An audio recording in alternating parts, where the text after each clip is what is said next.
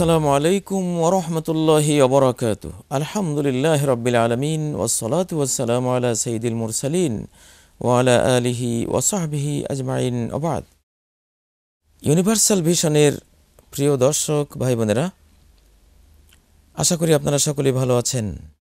রমাদানের তিরিশ আসরের আজকের আয়োজনে আপনাদেরকে স্বাগত জানাচ্ছি। আজকে আমার আলোচ্য বিষয় হলো হব্বুল্লাহ, আল্লাহর ভালোবাসা।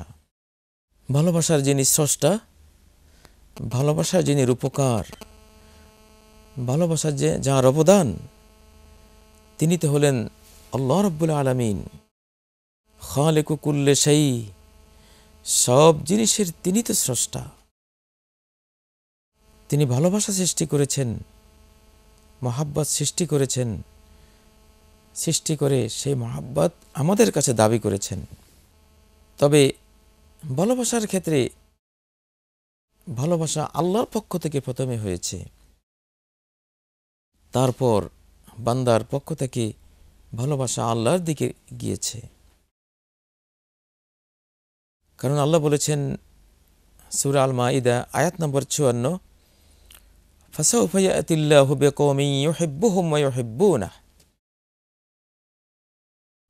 অর্থাৎ মুসলিমদেরকে বলেছেন, তোমরা যদি তোমাদের দিন ত্যাগ করো, তাহলে আল্লাহ এমন সম্প্রদায়কে নিয়ে আসবেন যাদেরকে আল্লাহ ভালোবাসবেন।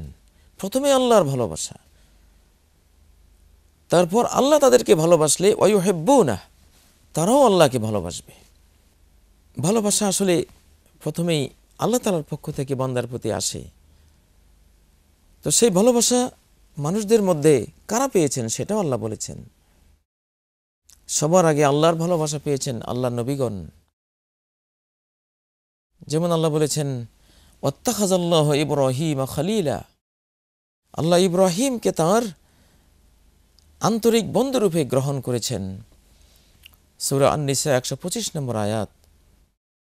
খালিল বলা হয়, ওই অন্তরঙ্গ বন্ধুকে যার ভালোবাসা হৃদয়ের পরতে পরতে অনুপ্রবেশ করে।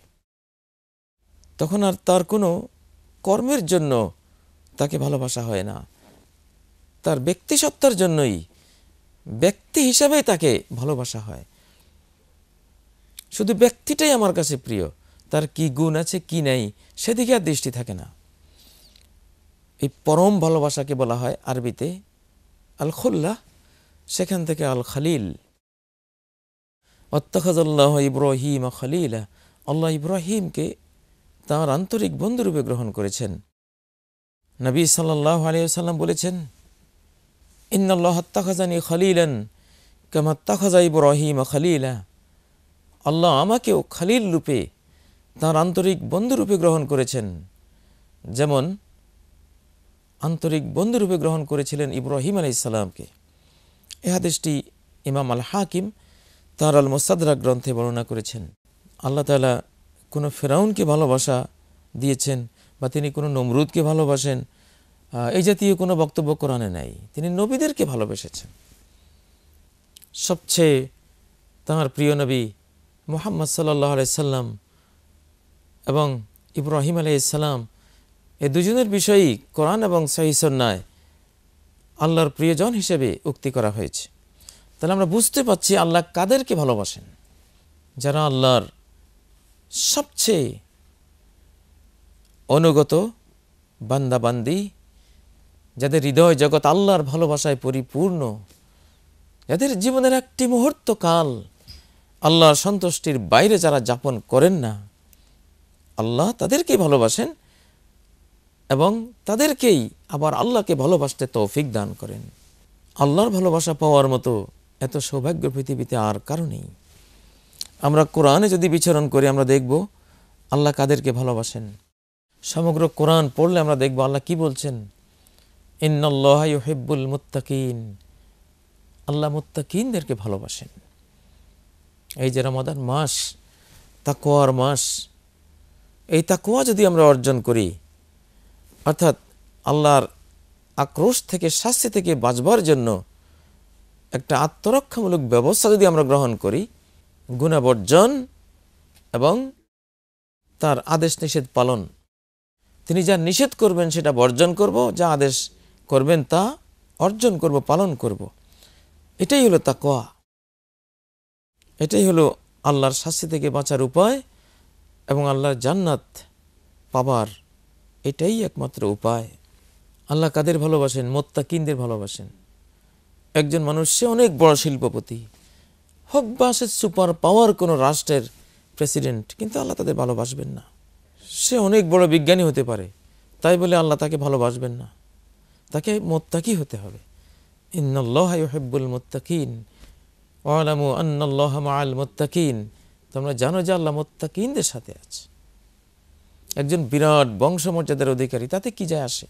বিরাট জমিদার। সে বিরাট ইতিহাস ঐতিহ্যের মালিক। ধনৈশ্বর্যের মালিক, কিছু যায় আসে না। এগুলোর কারণে সে আল্লাহর ভালোবাসা পাবে না। ইন্নআল্লাহিবুত্তাউবিন আল্লাহ তাওবাকারীদের ভালোবাসেন। যে যত বেশি তাওবাকারী, বারবার আল্লাহর দিকে ফিরে আসে। আল্লাহ থেকে দূরে সরে যায়, আবার ফিরে আসে, আবার ফিরে আসে। দাউদ আলাইসালামের আল্লাহ প্রশংসা করেছেন, নেমাল আব্দু ইন্নাহু আউয়াব সে কতই না উত্তম বান্দা, সে বারবার তাওবা করে। আসলে আমরা প্রতিদিন বহু বহু বার, শতবার ডেলি তো আবার মুখাপেক্ষী।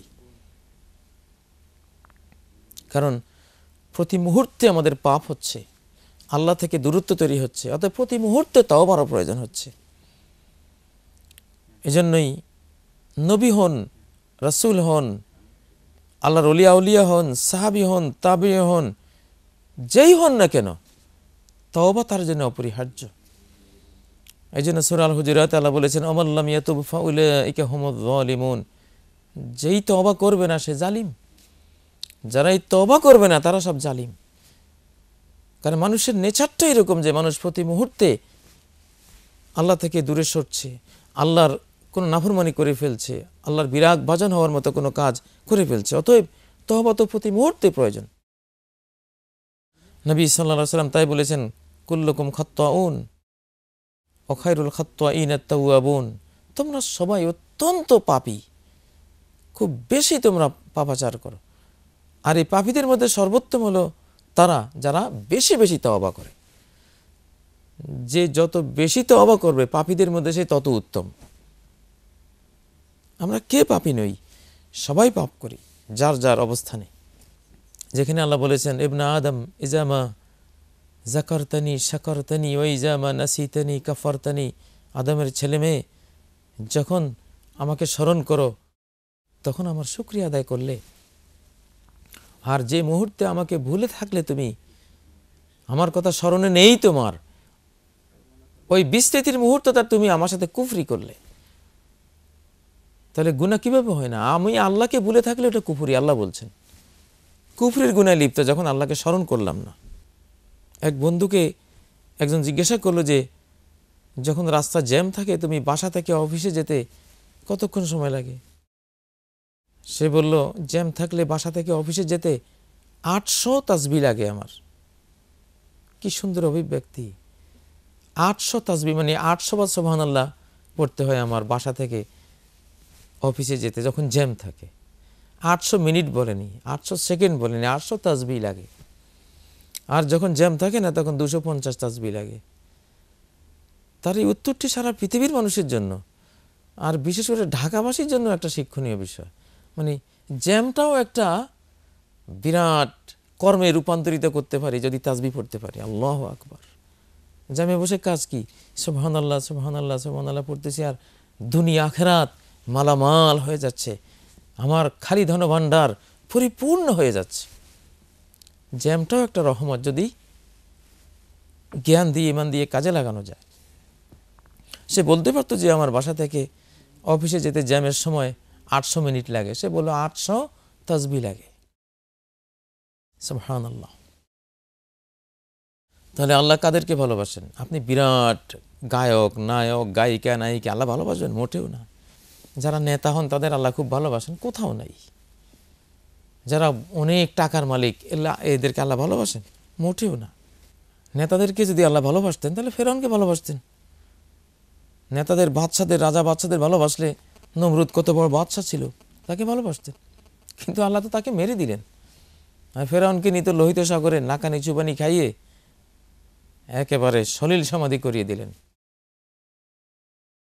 আল্লাহ ভালোবাসেন, ইন্নাল্লাহ ইউহিব্বুত্তাওয়াবিন তওবাকারীদের ভালোবাসেন।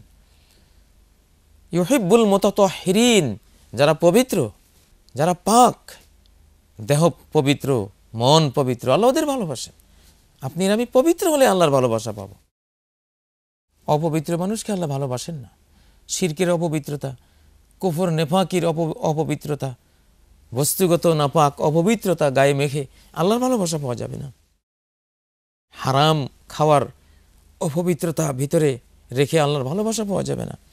ইহেব্বুল মতো তো হেরিন আল্লাহ পবিত্রদের ভালোবাসেন। ইহেব্বুল সবিরিন, যারা আল্লাহর বিপদ, আল্লাহর পক্ষ থেকে আগত বিপদে কঠিন, অটল অবিছল থেকে বিপদের মোকাবেলা করে, আল্লাহর উপর যারা রুষ্ট হয় না, আল্লাহর বিরুদ্ধে অভিযোগ দেয় না বিপদে পড়ে, অবিচল থাকে দিনের উপর। সুখে দুঃখে, উৎসাহে উদ্দীপনায়, অথবা ক্লান্তির মুহূর্ত সর্বাবস্থায় সে আল্লাহ দিনের উপর সব্বার হয়ে থাকে, অত্যন্ত সবরকারী হয়ে থাকে। আল্লাহ ওদেরকে ভালোবাসেন যারা আল্লাহর উপর ভরসা করে ট্রাস্ট রাখে, আস্থা রাখে, আল্লাহ তাদের ভালোবাসেন। প্রিয় দর্শক, আমরা বুঝতে পারছি আল্লাহর ভালোবাসা পেতে হলে আমাদের কি লাগবে। এগুলি ভালোবাসার পাত্র। অনেকে মনে করেন, আল্লাহ আমাকে না, ভালো না বাসলে এত টাকা পয়সা দিয়েছেন। হাজার হাজার কোটি টাকার মালিক আমি, অবশ্যই আল্লাহ আমাকে ভালোবাসেন। এটা তো কাপের বেঈমানদের কথা। কাফের বেঈমানরা মোমিনদেরকে বলতো, গরিব মোমিনদেরকে বলতো, নাহানু আকসার আউলাদা ওমা নাহানবী মোয়াজ্জাবিন আমাদের সন্তান তোমাদের চেয়ে বেশি, আমাদের সম্পদ তোমাদের চেয়ে বেশি, অতএব আল্লাহ কি তোমাদের ভালোবাসেন? তোমরা গরিব, খেতে পাও না, সব দিক থেকে দুর্বল। এতে কি বোঝা যায় যে আল্লাহ তোমাদের পছন্দ করেন না? পছন্দ করলে তোমাদেরকে ধনী বানাতেন। নওয়াজবিল্লাহ বরং আল্লাহ আল্লাহর প্রিয়জনদেরকে দুনিয়ার সম্পদ থেকে তেমনি অনেক সময় দূরে রাখেন। যেমন কোনো রুগীর চিকিৎসক বা তার শুভানুধ্যায়ী ব্যক্তি রোগীকে তার কুপথ্য থেকে দূরে রাখেন। দুনিয়ার সম্পদ অনেকের জন্য কুপথ্য। এই জন্য তার অভিভাবক তাকে ওই কুপথ্য থেকে বাঁচিয়ে দেন যাতে তার ক্ষতি না হয়ে যায়। প্রিয় দর্শক, আল্লাহর ভালোবাসা পৃথিবীর সবচেয়ে বড় ধন। আল্লাহ যদি কাউকে একবার ভালোবাসেন, আর কোনো শাস্তি নেই তার। তার শাস্তি মৌকুফ কোরআনে হাকিমে আল্লাহ তালা ইহুদি খ্রিস্টানদের একটি উক্তি আমাদেরকে শুনিয়েছেন সুরাল মায়দার আঠারো নম্বর আয়াতে। অকলাতুল ইহুদ উল্লাহ ইহুদি আর খ্রিস্টানরা বলে, আমরা তো আল্লাহর পুত্র ও আহিব্বাও আল্লাহর প্রিয়জন। আল্লাহ প্রশ্ন করছেন, তোমরা আল্লাহর প্রিয়জন? তো আল্লাহর প্রিয় হলে তো আর আল্লাহ কোনো আজাব দেন না। অথচ ইহুদি খ্রিস্টানদের উপরে কত আজাব আল্লাহর পক্ষ থেকে বর্ষিত হয়েছে। ইহুদিদেরকে বানর বানিয়েছেন আল্লাহ, শুকুর বানিয়ে দিয়েছেন আল্লাহ, শাস্তি দিয়ে। কত রকমের আজাব তাদের উপরে হয়েছে। তো আল্লাহর প্রিয়জন হলে তো আল্লাহ শাস্তি দিতেন না তোমাদেরকে। এই আয়াত থেকে সুর আলমায়দের আঠারো নম্বর আয়াত থেকে ওলামাকেরা বলেছেন যে, ইন্নাল হাবিব আল্লাহ ইউআজেব হাবিবা। কোনো প্রিয়জন তার প্রিয়জনকে শাস্তি দেয় না, এটা নিয়ম নাই। তো আল্লাহর ভালোবাসা এমন এক নিয়ামত, আল্লাহ যদি কাউকে ভালোবেসে ফেলেন একবার, আর কোনো শাস্তি তার জীবনে নেই, দুনিয়াতেও না, আখেরাতেও না। এখন সেই ভালোবাসার দাবিদার তো আমরা সবাই কম বেশ। সব ইমানদারি মনে করে আমি আল্লাহকে খুব ভালোবাসি। কিন্তু এটা দাবি, দাবির পক্ষে দলিল লাগবে। আল্লাহর ভালোবাসার দলিল কি? কোরআনে করিম আল্লাহ বলেছেন, সুরা আল আল ইমরান আয়াত নম্বর একত্রিশ, কুল ইন কুন্তুম তোহেব্বন আল্লাহ বলো তোমরা যদি আল্লাহকে ভালোবাসো, যদি দাবি করো, তাহলে আল্লাহকে ভালোবাসার অপরিহার্য একটা সিমটম আলামত হলো, ফাত্তাবিউনি, তোমরা আমার অনুসরণ করো। কারণ আল্লাহ প্রেমের পথের রাহবার পথিকৃত পথপ্রদর্শক হলেন মোহাম্মদুর রসুল্লাহ সাল্লাহ আলহি যিনি মক্কাকে ভালোবাসেন, তিনি তো কোনো পথিকৃত রাহবার থেকে মক্কার পথ জেনে সেই পথে চলবেন। নাকি মক্কাকে যিনি ভালোবাসেন, তিনি ইংল্যান্ডের দিকে রওনা দেবেন? কোনো দিনও না। যে যাকে ভালোবাসে, সে তাকে পাওয়ার ওই কি, পথ কি? সেই পথ নির্দেশক থেকে সেটা জেনে সেই পথ ধরবে সে। তো আল্লাহর ভালোবাসার পথটি জানেন মোহাম্মদুর রসুল্লাহ সাল্লাহ সাল্লাম। এ রাস্তা তার উপর নাজিল হয়েছে, কোরআন সুন্নার মাধ্যমে। পুরো কোরআন হলো আল্লাহ প্রেমের রোড ম্যাপ সেই রোড ম্যাপ ধরেই আল্লাহর ভালোবাসার পথে এগুতে হবে এই জন্য ফাত্তাবিউনি, আমার পিছে পিছে চলো। তাহলে কি হবে? ইউ হবে বুকুমুল্লাহ যদি মোহাম্মদুর রসুল্লাহর জীবন আচার লাইফ স্টাইলকে তোমরা অনুসরণ করো, তার মতো লাইফ এনজয় করো, তার মতো জীবন যাপন করো, আল্লাহ তোমাদের ভালোবাসবেন। আর আল্লাহর ভালোবাসা পেলে আমরা যে বলেছি একটু আগে, যে আল্লাহর ভালোবাসা পেলে সব গুণা মাপ আর কোনো গুণা নাই, আল্লাহ আকবার। এই আয়তের শেষাংশ আল্লাহ বলছেন ওয়াক ফিরলাকুম জনুবাকুম আল্লাহর ভালোবাসা যদি একবার পেয়ে যাও, এই ধন যদি একবার সৌভাগ্যে আসে, কপালে জোটে, তাহলে সমস্ত গুণা আল্লাহ ক্ষমা করে দেবেন। আল্লাহ গফুর রহিম। আর আল্লাহ তো ক্ষমাশীল, দয়াশীল বটেই। আজকের এই যুগে আমরা কত গুণা করি, আমাদের গুণা প্রযুক্তি দিয়ে গুণা করি, অনন্ত গুণাগার আমরা। আমাদের গুনার কোনো হিসাব নিকেশ নেই। এমনি এক যুগে চেষ্টা করে যদি আল্লাহ তালার ভালোবাসা পেতে পারি, আল্লাহ নবীর অনুসরণ করে, তাহলে তো গুণা মাপ পেয়ে গেলাম। আল্লাহ আকবার। এই জন্য ওলামরা বলেছেন, ইন্নাল মাসি আল্লাহ তাদুর্র মা আল মাহাব্বা। আল্লাহর মাহাব্বাত পেলে গুনায়ও কোনো ক্ষতি করতে পারে না। কারণ গুনায় ক্ষতি করব কেমনে? গুণা তো মাপে হয়ে যাবে। আল্লাহর প্রিয়জনের কোনো গুণা আল্লাহ ধরবেন? এই জন্যই বদরের যোদ্ধাদেরকে আল্লাহ বলেছেন, এ মালু মা তুম যা মনে চায় করো। আজকের পরে আর তোমাদের কোনো গুণা নাই। বদরের যুদ্ধে অংশ নিয়ে এমন এক সৎ কাজ করেছ। আল্লাহ আকবর, আল্লাহ তাদের মনোজগৎ জেনে ফেলেছেন যে তারা কেমন আল্লাহর মহাব্বতের হৃদয়কে ভরপুর করে নিয়েছে। যাও আজকে এরপরে এই মালু মা সেই তুম কদ গফর তুলাকুম যা ইচ্ছা করো আমি মাফ করে দিলাম। আল্লাহ কীভাবে বলছেন? আল্লাহ রসুলহু আহাক্কু আইন আইয়ুরদুহ আল্লাহ আর আল্লাহ রসুলেই উপযুক্ত যে মানুষরা তাকে সন্তুষ্ট করবে। এখানে আইয়ুরদু হুমা বলেন নাই যে আল্লাহ আল্লাহ রসুলকে সন্তুষ্ট, এই দুইজনকে সন্তুষ্ট করা বেশি উচিত। আল্লাহর আল্লাহ রসুল এই দুইটা বলে বলছেন আইয়ুরদু এক বছরের সর্বনাম ব্যবহার করেছেন। আল্লাহ এবং আল্লাহ রসুল দুজন এমন যে তাকে খুশি করা উচিত। কাকে?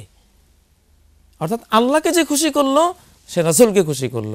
রাসুলকে যে খুশি করল, আল্লাহকে সে খুশি করল। দুজনের মুরাদ, উদ্দেশ্য চাওয়া পাওয়া এক হয়ে গেছে। আল্লাহ যা চান রাসুল তাই চান। রাসুল যা চান আল্লাহ তাই চান। অতএব যে আল্লাহকে ফলো করল, যে রাসুলকে ফলো করল, সে আল্লাহকে ফলো করল। যে রাসুলের অনুকরণ করল, সে আল্লাহকে অনুকরণ করল। আর এই অনুকরণের মাধ্যমে আল্লাহর ভালোবাসা পাওয়া যাবে। আর দ্বিতীয় কোনো তরিকা নেই পৃথিবীতে। অমুক তরিকা, তমুক তরিকায় আল্লাহর প্রেম পাওয়া যাবে? কোনো দিনও নয়।